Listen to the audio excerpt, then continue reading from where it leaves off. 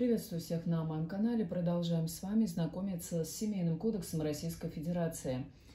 Итак, статья 55 Семейного кодекса Российской Федерации «Право ребенка на общение с родителями и другими родственниками».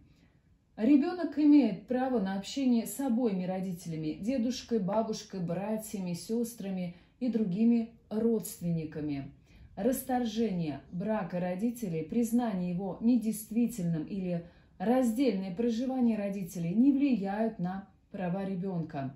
В случае раздельного проживания родителей ребенок имеет право на общение с каждым из них. Ребенок имеет право на общение со своими родителями. Также в случае их проживания в разных государствах. Ребенок, находящийся в экстремальной ситуации, задержания, арест – заключение под стражу, нахождение в медицинской организации и другие случаи имеет право на общение со своими родителями, лицами их заменяющими и другими родственниками в порядке, установленном законом.